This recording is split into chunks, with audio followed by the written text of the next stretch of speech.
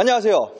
요차 어때 이대진 대리입니다. 네, 오늘 제가 소개해드릴 이 차량 정말 가성비의 끝판왕이라고 불려질 만한 차량이고요. 정말 신차로는 부담되지만 중고차로 구매하기에 딱 좋은 차량입니다. 정말 저렴한 금액대에 기본기 탄탄하고 거기에 실내 공간도 넓고요. 거기에 대형 세단다운 그런 품위까지 즐길 수 있는 차량인데요. 오늘 제가 소개해드릴 차량은 르노 삼성의 SM7 차량으로 준비했습니다. 이 SM7 중에서도 정말 옵션까지도 많이 들어가 있는 차량을 준비했는데요. 더 좋은 스펙으로 찾아왔어요. 네, 이 차량 바로 한번 만나보실게요.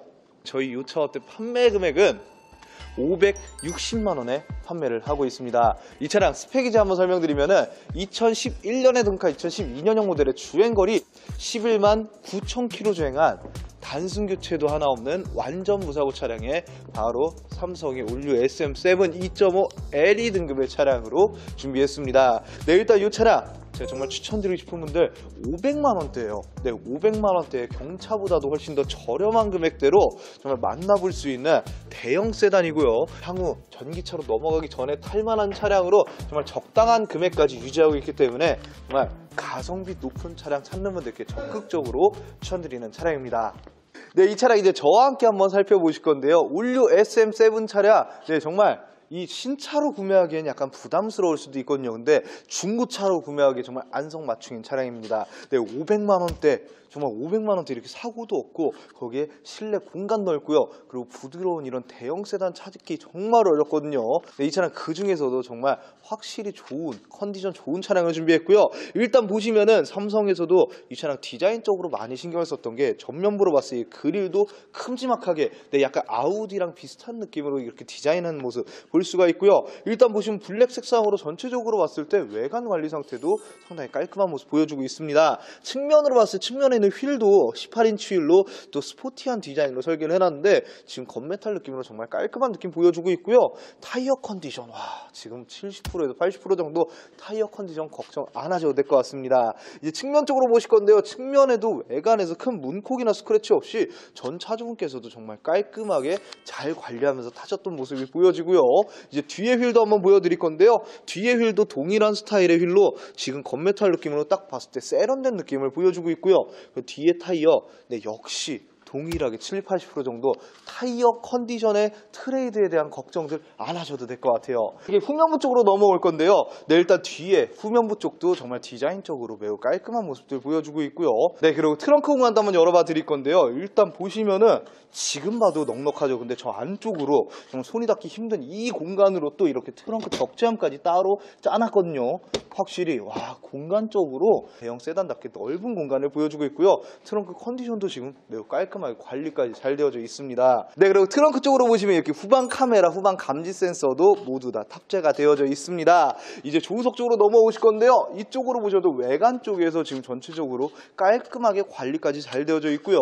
그리고 이 차량 2500cc에 V6 6기통을 탑재했는데 지금 그래도 연비가 10km 이상, 네, 공인 연비가 한 11km 정도의 연비 효율 성 갖고 있거든요. 그 정도로 두 자릿수 이상의 연비를 꾸준히 볼 수 있는 그런 합리적인 연비 효율성까지 가지고 있습니다. 이렇게 외관 한번 보셨는데요. 이제 들어가서 실내 옵션 컨디션 한번 살펴봐 드릴게요.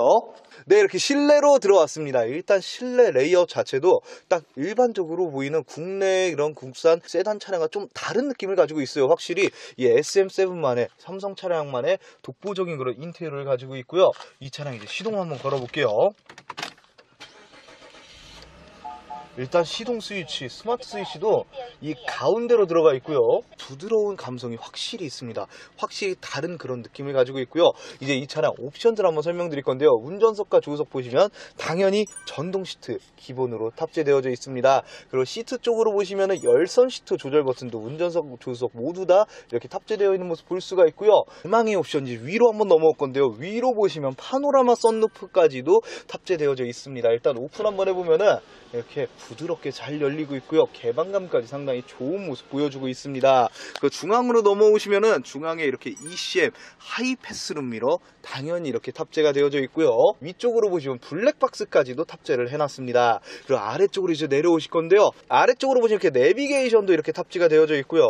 이 내비게이션 터치 기능도 가능한데 jog 시스템까지도 연동이 되어 있습니다. 이 부분 아래쪽에서 한번 보여드릴 거고요. 후방 카메라 한번 보여드리면은 후방 카메라까지도 이렇게 선명한 화질로 잘 나오는 모습 확인할 수가 있습니다. 그 아래쪽으로 내려오실게요. 이쪽으로 보시면은 아까 처음에 보셨던 이 스타트 버튼 그 오른쪽으로는 이 르노 삼성만의 네, 좀 뭔가 감성적인 옵션, 네, perfume 디퓨저가 이렇게 탑재가 되어져 있고요. 네, 일단 네, 이렇게 원하는 향으로 원하는 세기로 이렇게 조절할 수 있는 기능까지도 탑재가 되어져 있습니다. 그리고 그 밑으로 보시면은 이렇게 오디오 컨트롤러 전체적으로 들어가 있고요.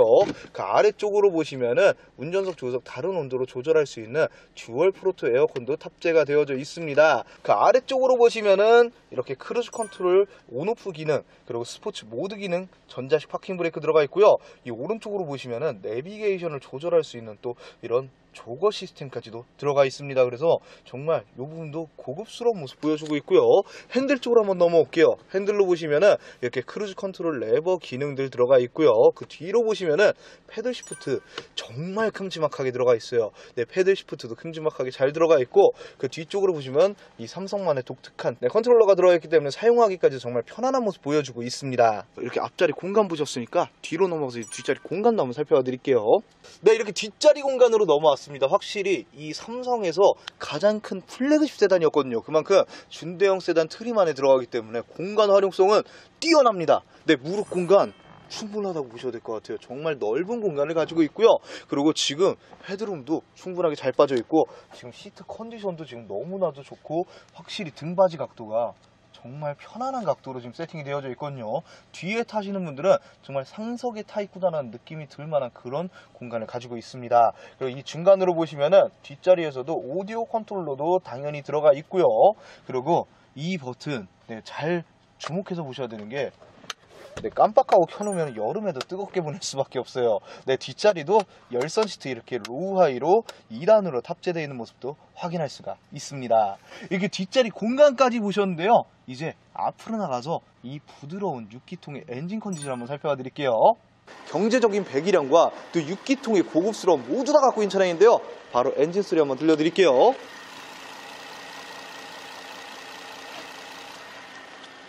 일단 6기통은 다르다는 게 한 번에 느껴지실 것 같습니다. 직접 오셔서 시동 걸어보시면 은 아 이래서 6기통을 타는구나라고 느껴질 만큼 그만큼 정숙하고 부드러운 컨디션까지 가지고 있는 차량인데요. 이 차량 이제 다시 한번 스펙 정리해 드릴게요.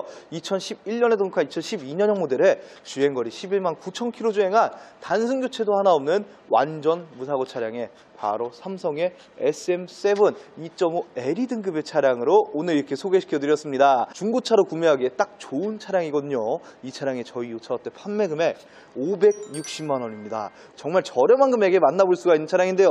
이 차량에 대해 좀 더 궁금한 게 있으시면은 상단의 대표번호로 연락 주세요. 저 아님 정대리가 직접 받아서 더욱더 친절하게 상담 도와드릴 거고요. 이 차량 너무나도 마음에 드시는데 거리가 있어서 방문이 어려우신 분들 주저 말고 연락 주세요. 탁송 거래도 가능합니다. 이 차량 이외에도 정말 많은 차량들이 주인을 기다리고 있습니다. 지금 시세가 궁금한 차량들 리뷰가 보고 싶은 차량 있으시면 저희에게 연락 주시거나 아래 댓글로 남겨주시면 그 내용도 확인해서 더욱더 좋은 영상들 찍어 나갈 거고요. 저희는 앞으로도 저렴해진 차량들 더 가성비 있는 차량으로 계속해서 인사드리도록 하겠습니다. 여기까지 요차업대의 이대신 대리였습니다. 감사합니다.